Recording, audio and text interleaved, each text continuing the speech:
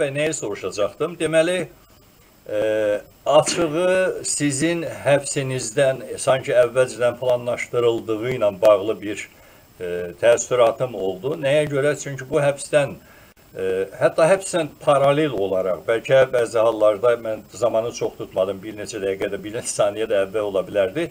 Hökumət saytlarında belə məlumat yayıldı ki, sizin həbsinizlə bağlı təbii ki, Əli Kərimli Biləqədi rayon məhkəməsinin qərarı ilə həbs edilib. Amma sonra məlum oldu ki, sizi heç məhkəməyə falan da aparmayıblar. Bax, buna baxmayaraq da belə əsaslandırıldı ki, Əli Kərimli süni şəkildə ictimai narazılıq yaratdığına görə müqavimət hərəkatı müqavimət hərəkatı formalaşdırmaq istədiyinə görə, nə bilim, cəmiyyətdə sabitliyi pozmaq cəhdlərinə görə həbs edilib, bəri başdan məhkəmənin olmayan, virtual şəkildə təsəvvür etdikləri hansısa qərarına bir yorum da verirdilər. Bu prinsipcə o təəssüratı yaranır ki, yaradır ki, əvvəlcədən planlaşdırılmışdı. Doğrudurmu? Yəni mənim təxminlərim.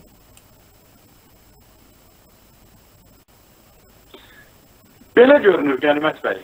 Deməli, e, əslində həmin məlumatlarla mən də tanış oldum.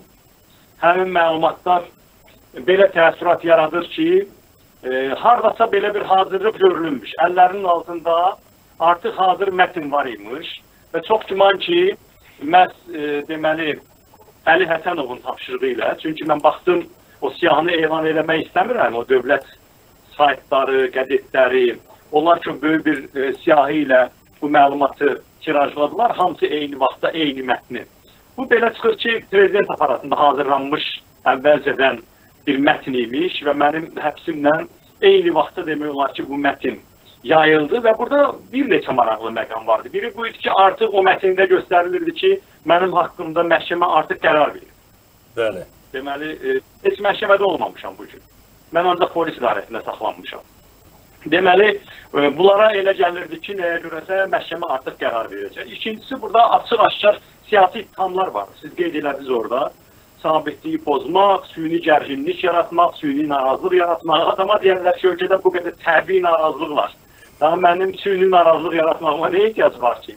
İnsanlar çox xoşbəxtmi olmalıdırlar ki, siz onların 10 milyardlarla dollar sərvətini ölkədən çıxardırsınız, özlərini uşaq pulundan, pensiyadan belə məhrum edirsiniz pensionerlər e, qaçırsınız, qovursuz, 65 yaşa qədər qaldırmısınız, son bir neçə ildə yaşa görə pensiyalanların sayı 80 min nəfər azalıb, uşaq pulu ilə bağlı ümumiyyətlə faciədir məsələ, ünvanlı sosial müavinətləri kəsmisiniz, e, iş yerləri yox, amma bir tərəfdən də siz e, bütün dünyanın gözü qarşısında bu cür belə bir ifrat zənginlik şəraitində yaşayırsınız. Belə bir şəraitdə ədalətin olmadığı, sosial təminatın olmadığı, hüququn olmadığı, məhkəmələrin olmadığı bir yerdə insanlar niyə xoşbəxt olmalılar? Niyə narazı olmamalılar ki, Əli Kərimli ya kimsə bir başqası süni narazılıq yaratmış olsun. Belə çıxır ki, yəni kimsə bir nəfər bu ölkədə olmasa, bu insanlar bu vəziyyətlə barışmalıdırlar və heç bir narazılıq olmamalıdır. Bu absurddur,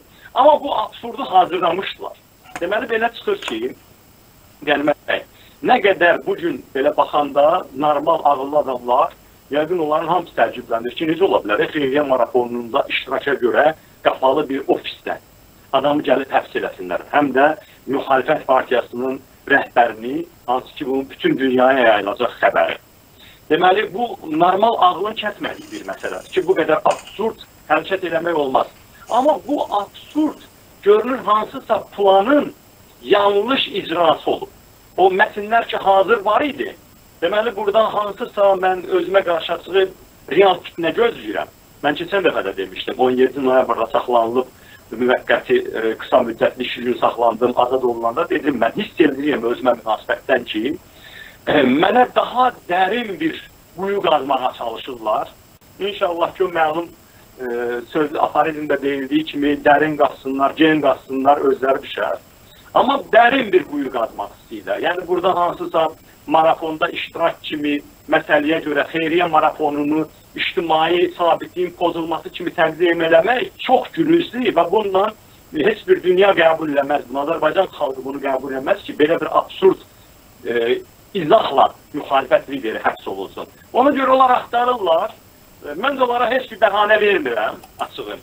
Və e, o mətnlər onu göstərir ki, mənim daha ciddi əsaslarla e, deməli, həbsimlə bağlı müəyyən bir hazırlıqdan söhbət gedir. Və onun üçün güya bunlar bu informasiya savaşına hazırlaşırlar ki, güya ki, həbs olunan kimi dərhal əsaslandıracaqlar ki, bu adam süni cəmiyyətdə narazılıq yaradırdı, sabitliyi pozurdu, buna qarşı ittihamlar əsaslıdır. Trollar dərhal baxıram ki, komandinin hamısı yazıblar ki, nəhayət o haqqıları yerə gelib çıxıb, onun yeri elə dəmir barmaqlıqların arxası idi. Bunlar hamısı öncədən güya bunlar bir ideoloji təbliğatı zəmin yaradıblar bu həbs üçün. Amma bugün tutduqları iş o qədər absurd idi ki, görünür hələ ki, hakimiyyətdə reallıq hissini itirməyən kimsə qalıb, kimlərsə qalıb. Onlar başa salıblar ki, necə ola bilər? Biz axı bunu sabahları dünyaya da izah eləməli olacağıq. Azərbaycan qapalı deyil, hələlik Şimali Koreya deyil. Biz bir çox beynəlxalq öhdəliklərimiz var. Azərbaycan xalqının qarşısında öhdəliklərimiz var. Biz necə izah eləyəcəyik ki, biz ya xeyriyyə marafonu ilə yürüşün fərqini bilmirik, ya da qapalı bir ofisdə xeyriyyə marafonunda iştirak edən müxalifət liderini həbs edirik. Bunu necə izah eləyəcəyik və ona görə bu dəfədə bu proses yarımçıq qaldı. Amma sizin dediyiniz həmin o ideoloji aparatın öncədən hazırlanması, necə deyirlər, ev tapşırıqlarının olması, onların hamısında bu ev tapşırığı olmuşdu artıq. Hazır mətnlər var idi və onlar hamısı komanda ilə işə keçdilər. Onu göstərir ki, deməli dövlət səviyyəsində bütün strukturların səfərbər olunub bu həbslə bağlı hazırlıqları olub.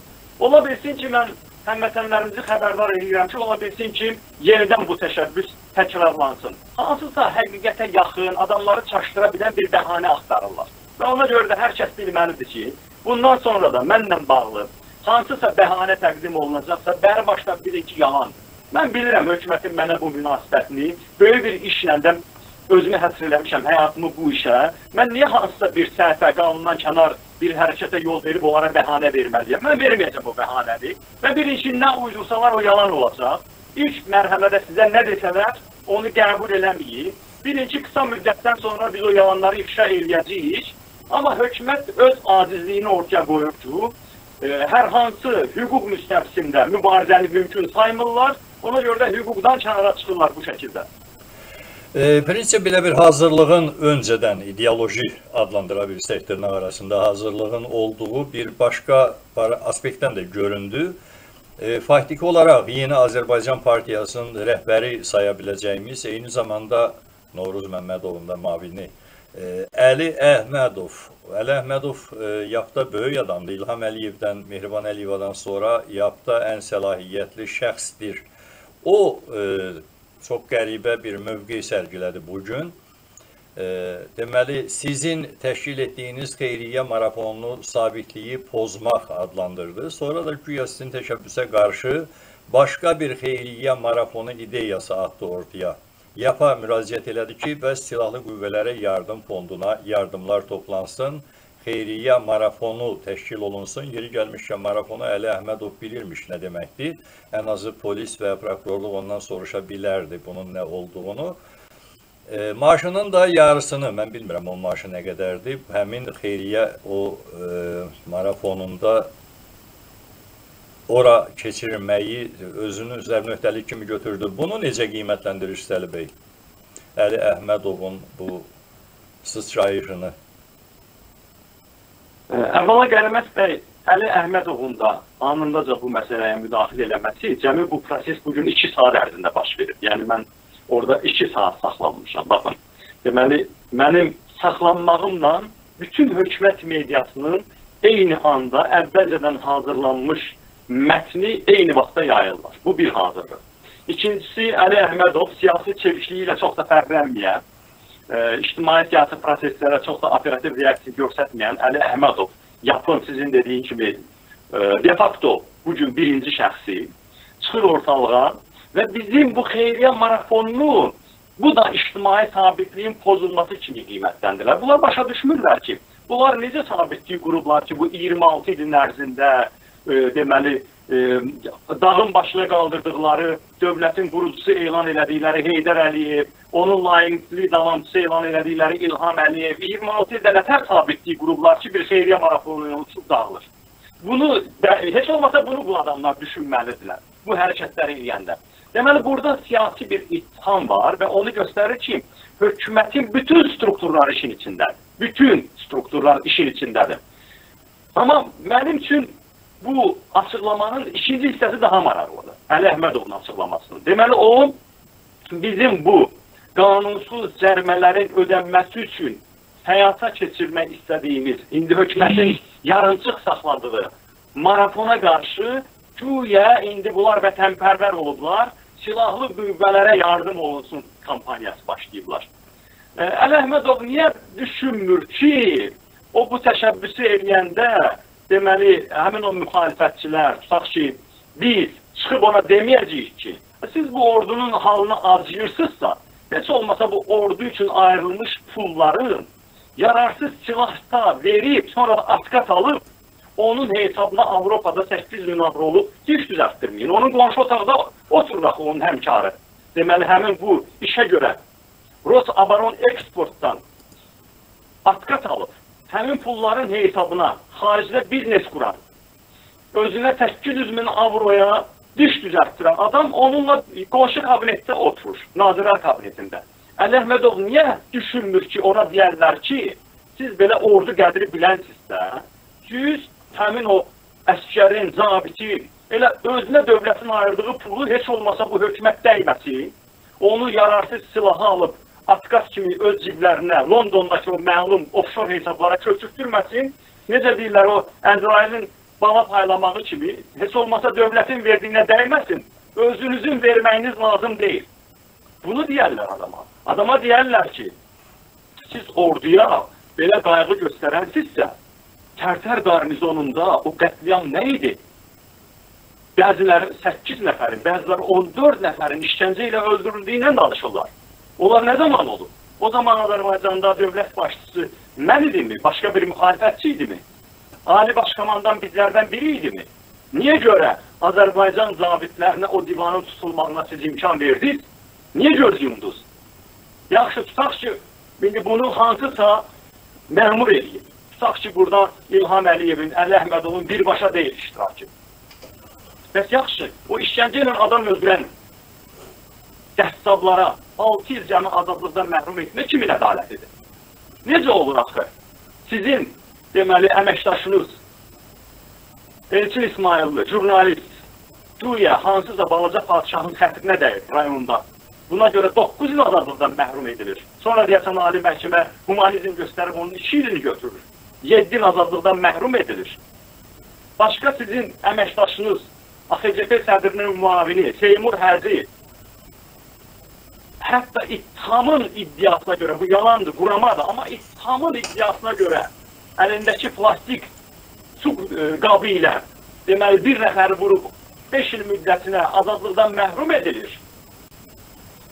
Gənc Fuad Əhmədli güya hansısa bir dostunun xahişi ilə onun telefonunda, onun nişanlısının telefonunda kontrolün olub olmadığını cavabını verir, 4 il azadlıqdan məhrum edilir. Amma işgəncə ilə 8-14 nəfəri, niyə qeyri-müəyyən deyirəm? Çünki ekspertlərin bəziləri 8 nəfərin adını, familiyasını gətirirlər, bəziləri 14 nəfər. Amma bir nəfər də çoxdur. Hətta bir nəfər də çoxdur. Hesab edək ki, 8 nəfəri. 8 nəfəri işgəncə ilə öldürən adamlara verilən cəza nədir? 6 il müddətində. Onlar da görəcəksiniz ki, 2-3 ildən sonra rejim dağılsa, inşallah qalmazlar, 2-3 ildən sonra deməli onlar da azadlığa çıxacaqlar. Necə ki, rabitə işində rəsmi ittihama görə 76 milyon manatın mənimsənilməsində ittiham olunan Yapın NTK sədri 3 ildən sonra artıq azadlıqdadır. Haradasa bir iş də veriblər artıq. Həmin o MTN işinə görə 3 milyon manat rüşvət vermiş Tağı Əhmədov Yapın rayon şöbə sədridir. İndi belə bir partiyanın icra aparatının rəhbəri patriotizmlə danışır. Güya bunlar indi əskər qədri bilən olublar. Ordu qədri bilən olublar. Mən dönə-dönə müraciət etmişəm ki, yaxşı bizim bu atəşkəs dövründə ordumuzda bu qədər işçilər var. İnsanlar ölürlər, öldürürlər onları. Yüzlərlə əskərimiz atəşkəs dövründə ya nizamnamədən kənar davranışın, ya təhlükəsizlik qaydalarının pozulmasının, ya da birbaşa açıq fiziki zorakılığın nəticəsi olaraq öldürülürlər. Niyə Ali Baş Komandan olan şəxs bir dəfə hərbi şuranı toplayıb bu məsələni müzakirə eləməyib ki, bax o övladları elə bizim övladımızdır. Dövlət əslində əsgərinə, zabitinə özünün doğmaca övladı kimi baxmalıdır. O bu vətəndən ötürü canını qurban demir. Deməli bizim də hamımızın ilk növbədə də Ali Baş Komandan və hökumətin borcudur ona öz övladı kimi baxsın.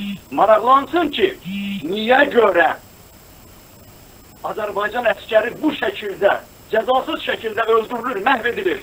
İnsanlar hansı əzabla övlad böyüdürlər. Uşaq pulu da vermirsiniz. Hansı əzabla böyüdürlər, xəbəriniz olmur. Kirayələrdə böyüyür o uşaqlar. Yarı az böyüyürlər o uşaqlar. 18 yaşı oldu, apardın, hansısa bir haramxorun övladı, budurğan övladı burada öldürdü. Heç kimə də heç nə deyilmir buna görə. İndi siz əskər və zabitə qiymət qoyansınızsa, siz bunları aradan qaldırın. Siz dövlətin olan vəsaitinə dəyməyin sizin hökumətiniz. Sizin harasa bir xeyri eləməyinizə ehtiyac yoxdur. Dövlətin vəsaitinə dəyməyin. Dövlətin vəsaitini əskərə zabitə çatdırın. Ee, indi təbii bunlar yəqin bu pulu yığacaqlar ki, yəni versinlər Yaqub Beyyubova ki, oturur Əli Əhmədovla siz demişən qonşu kabinetdə getsin özünə ayaqqabı falan alsın. İndi soruşacağım sualla bağlı Əli bəy, mən günortaki canlı yayımda faktiki olaraq reaksiyanı gördüm. Yəni insanların reaksiyasını və yeri gəlmişkən Dəyərli izləyicilər, indi bizim Əli Kərimliyə suallarımız qutarandan az sonra qutaran kimi, yəni e, izləyici zənglərini qəbul etməkdə davam eləyəcəyik. E, bəs sizin Əli bəy həbsinizə cəmiyyətin reaksiyası ilə tanış ola bildinizmi? Bu reaksiya sizi qane etdimi? Xəbəriniz oldumu ki, bir çoxları hesab edirdi ki, hət həbsiniz hətta inqilabi, yeni inqilabi hərəkata, yeni bir dalğaya da səbəb ola bilər. Qənimət bəy, bir neçə saniyyənin ərzində nə qədər mümkündürsə tanış ola bilmişəm, amma deməli e, polis idarəsindən çıxandan sonra özüm də xeyli müsahibələr vermişəm, yanıma gəlib gedənlər olub, deyə bilmərəm ki, hər şeydən xəbərim var, amma əsasən xəbərim var və görmüşəm ki, e, əvvəlan e, Azərbaycan mətbuatı, internet televiziyaları, Facebook səhifələri, YouTube kanalları, blogerlər, çox böyük operativlik və fədakarlıq ediblər. Eləmisiniz, siz də daxil olmaqla. Hamınız e, ilk növbədə bu adamlara öz təşəkkürümü çatdırıram. Çünki onlar faktiki elə gözəl işləyiblər ki, e, Azərbaycanda azad mətbuatın olmadığı hiss olunmuyor. Faktiki elə bir ovqat yarada biliblər ki, sanki elə ölkədə azad mətbuat varmış kimi yaranıb. Yəni qısa bir müddətdə yüz minlərlə insan xəbərdar olub baş verənlərdən. Minlərlə insanın reaksiyası ortaya çıxdı. İkincisi gördüm ki, minlərlə insan yazılar yazıblar, şərhlər yazıblar, telefon zəngləri eləyiblər, bir, bir mənalı dəstəklərini ifadə eləyiblər. Xeyli adam məhkəməyə gəlib, polis idarəsinin qabağına gəlib, müxtəlif formada öz dəstəyini ifadə edib, hamıya təşəkkür edirəm. Mən xalqımızın bu həmrəyliyini, bu qədir bilənliyini çox yüksək qiymətləndirirəm sağ olun və bizi güclü eləyəndə budur. E, qaldı ki, daha ciddi nəticələrin doğurmağı mən də rast gəldim. Mən də rast gəldim ki, adamların bir qismi hesab edirdilər ki, əgər bu həbs uzun müddətli olsa, daha böyük nəticələr doğura bilər. Mümkündür və mən bunun olmaması üçün heç nə eləmirəm. Prinsip etibarilə mümkündür ki, bu olsun yenə də. E, Azərbaycan xalqı e, bunu nəzərə almalıdır ki, e, necə deyərlər, mən fürsətdir bunu deyirəm, bilmirəm. E, sonra birdən bu fürsət olmaz çatdırmağa bunu vətəndaşlarımıza. Əgər nə zamansa daha dərin bir quyu qazsalar mənim üçün, daha uzun müddətli məni təcrid edə bilsələr, mən özüm şəxsən bundan heç təəssüflənmirəm. Mən bütün həyatımın qalan hissəsini Azərbaycan xalqının azad olunması üçün özüm daxilimdə qərarımı vermişəm ki, qurban vermişəm. Nə hansı nəticə olsa ona qatlanacam heç nəyi redaktə etməyəcəm fəaliyyətimdə. Amma çox istərdim ki, elə bir şey olacağı təqdirdə e, mənim verməli olacağım qurbanlardan xalqımız özünün azadlığı üçün maksimum istifadə eləsin. Yəni, əgər hansısa içkiləri, qurbanları mən verməli olacamsa, hansısa mərhələdə, ondan maksimum qoy xalqımız istifadə eləsin Azərbaycan xalqının azadlığını sürətləndirməkdədir. ölkənin daxilində və xaricində Azərbaycanlılar arasında həmrəyliyi gücləndirməkdən ötürü, mübarizə ovqatını gücləndirməkdən ötürü, təşraflanmanı və mübarizəni gücləndirməkdən ötürü istifadə eləmək lazımdır. Azərbaycan xalqının daha bundan da artıq sonsuzluğa qədər belə bir hüquqsuz vəziyyətlə barışmağa haqqımız yoxdur. Artıq nə qədər olaraqdır? Sağımız, solumuz, Cənubi Qafqaz, MDB, e, hətta Afrika, Asiya, Muzqar nöqtələri hamı demokratiyasına qovuşur. Biz niyə görə cəmisi 5-10 olan sayı dünyanın ən şanssız millətlərindən biri olmalıyıq? Niyə biz hüquqsuz vəziyyətdə barışmalıyıq? Niyə bizi bu şəkildə idarə eləməlidirlər ki, biz hətta ofis şəraitində xeyriyyə marafonu belə keçirə bilməyək. Ona görə də mən bu günə olan reaksiyalardan razıyam, hamıya təşəkkür edirəm və belə məqamların hamısını istifadə eləmək lazımdır. Azərbaycan cəmiyyətində həmrəyliyin daha da güclənməsinə. Və yeri gəlmişkən mən bu gün o həmrəyliyi gördüm, ən vacibi. Bütün təbəqələrin dəstəyini gördüm. Hamıya bir daha təşəkkürümü bildirirəm.